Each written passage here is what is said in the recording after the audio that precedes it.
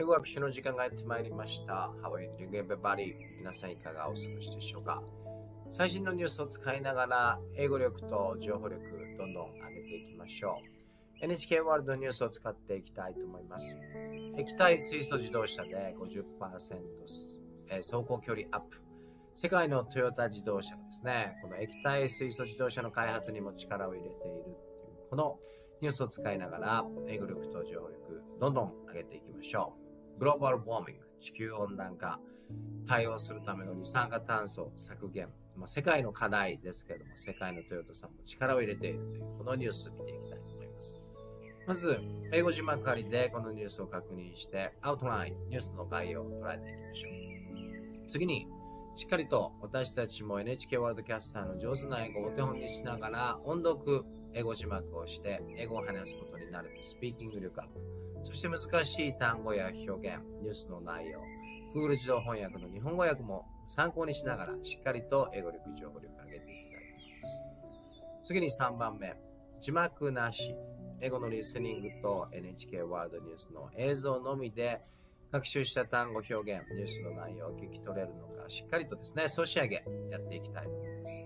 ぜひ動画最後までご覧いただいて一緒に英語力と情報力どんどん上げ学習の際、5W1H 意識すると、えー疑問を持ちながら聞けて集中力も上がると思います。5W1H というのは When, Where, Who, What, Why, How という疑問詞ですけども、いつ、どこで、誰が、何を、なぜ、どのように。このあたりの疑問を持ちながらニュースなんかを見るとですね、しっかりと集中力も上がっていくと思います。英検9家事チャンネル。いいなと思ったらチャンネル登録、高評価、コメントなんかもよろしくお願いいたします。さあ、それでは、この NHK ワールドニュースを使いながら、自動車業界、えーそしてトヨタさん今何に力を入れているのか見ていきましょう。Let's get it started. では、左側の NHK ワールドニュース、右側の字幕ありで見ていきましょう。読まれているところを、このようにカーソルを字幕に合わせていきますので、必要な方は参考にしてみてください。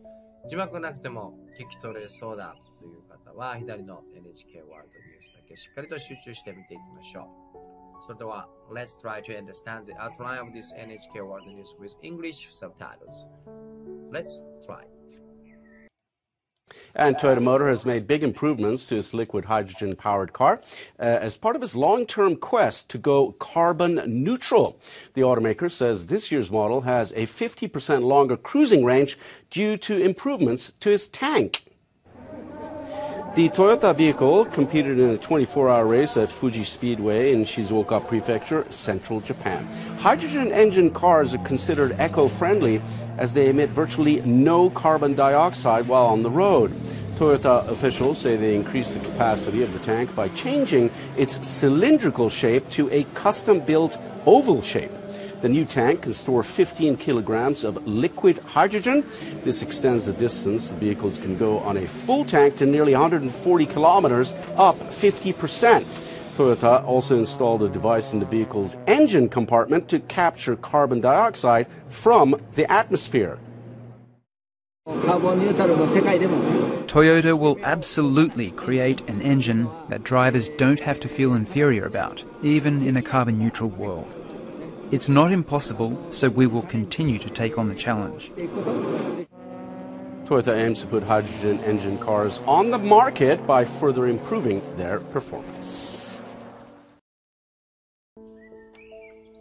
さあ、いかがだったでしょうか字幕ありで見てみましたけれども、アウトライン、概要聞き取れましたでしょうか えー世界のトヨタ自動車ですけれども、この Liquid Hydrogen Engine ですね。まあ、液体水素を燃料としたエンジンの開発にも取り組んでいて、50% longer、まあ走行走行距離がなんと50%、えー伸びたという、こういうニュースでした。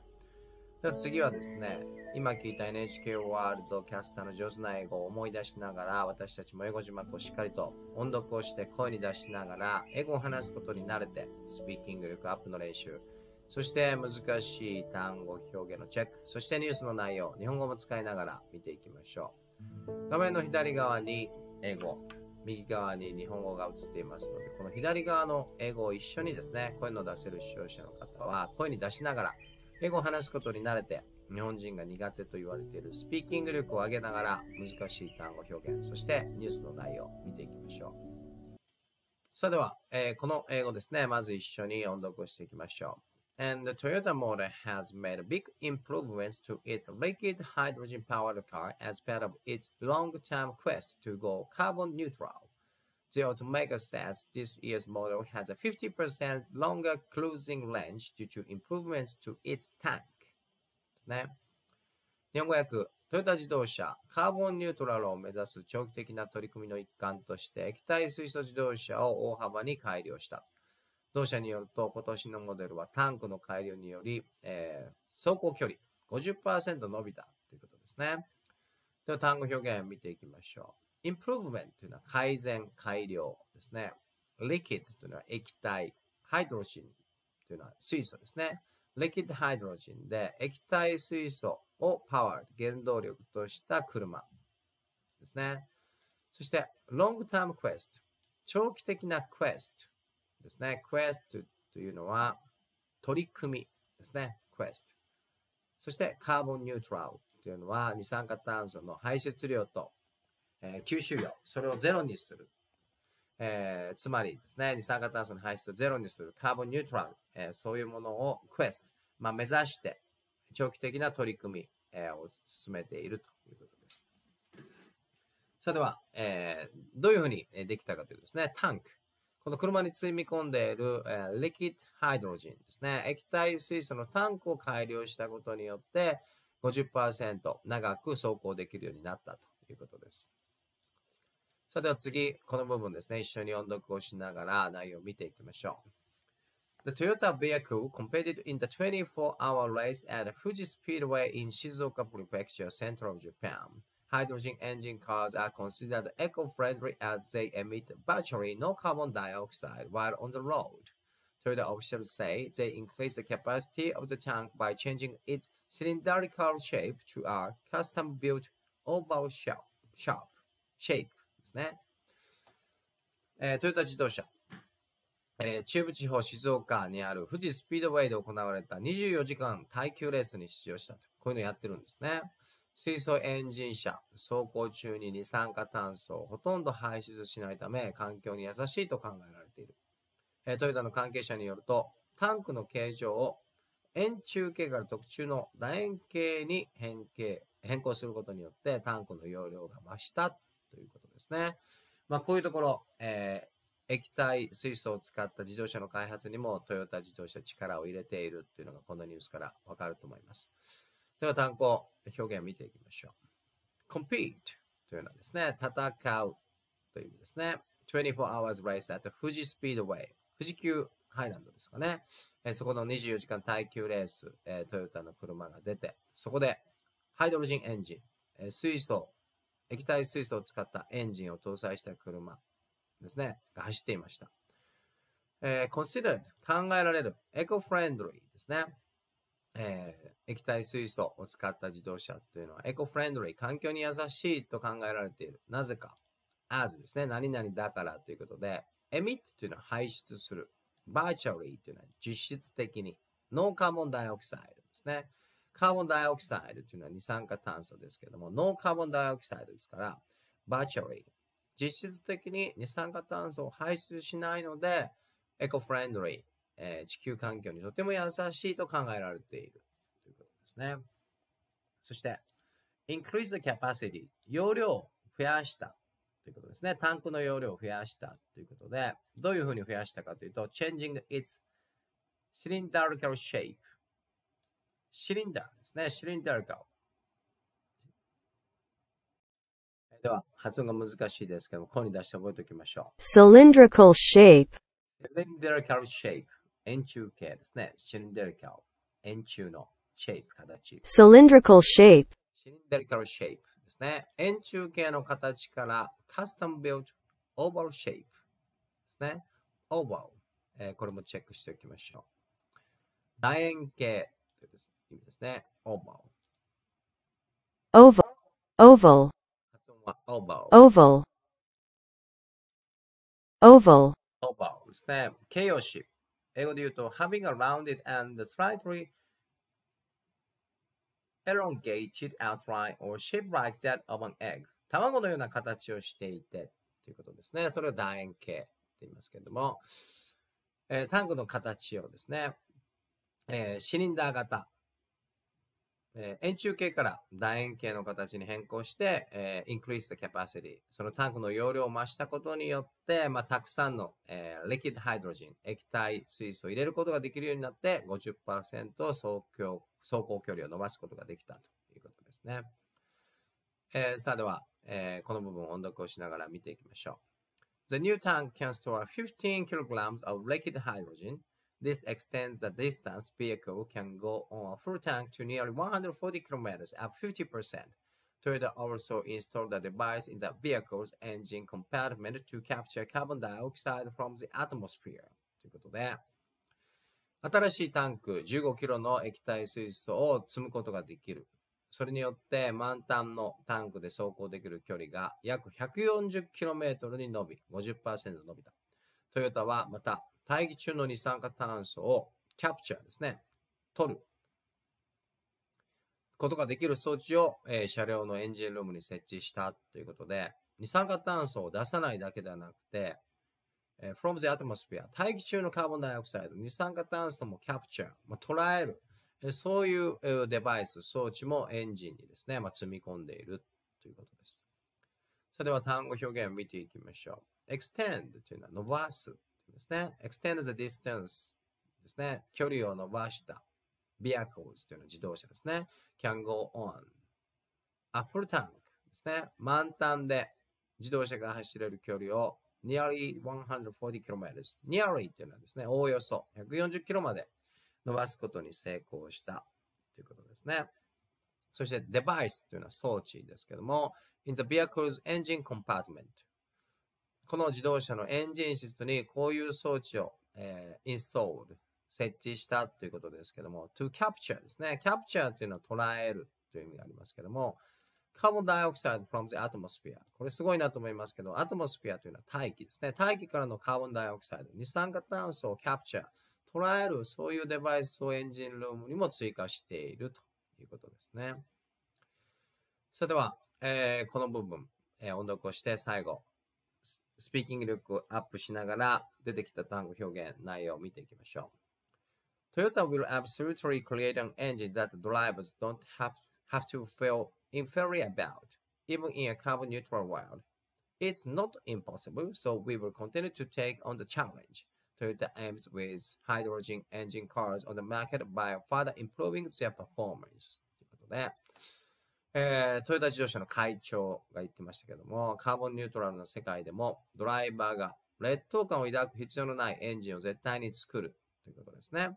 まあ、他の電気自動車やガソリンに負けないような、そんな、え液体水素をつを努力とした自動車を作ると言ってます。不可能ではないので、私たちは挑戦を続ける。トヨタは水素エンジン車の性能をさらに向上させ、市販化を目指します。いうことですね。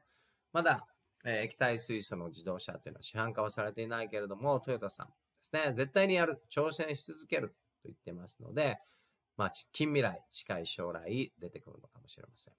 えーでは、単語表現を見ていきましょう。absolute というのは絶対にですね。absolutely create an engine ですね。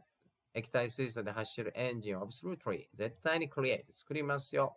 どんなエンジンか ?drivers don't have to feel inferior about ですね。inferior about というのはですね、劣等感を抱く。superior の逆ですね。inferior。